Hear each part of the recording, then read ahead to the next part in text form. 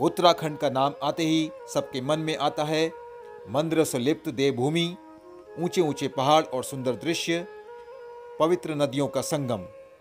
परंतु इसके अलावा एक और सच्चाई भी है, उत्तराखंड के लोगों का पलायन और बाहरी लोगों का आगमन। खाली और उजड़े हुए गाँव, खेतों में पशुओं का आतंक। अगर ऐसे ही चलता रहा तो उत्तराखंड अपनी पहचान खो देगा। उत्तराखंड सरकार और उत्तराखंड के लोगों को इस ओर ध्यान देना चाहिए और कुछ कड़े कदम उठाने चाहिए, जिससे उत्तराखंड फिर से बहाल हो सके। कही गई बातें अगर पसंद आए तो सब्सक्राइब एंड शेयर ज़रूर करें। धन्यवाद।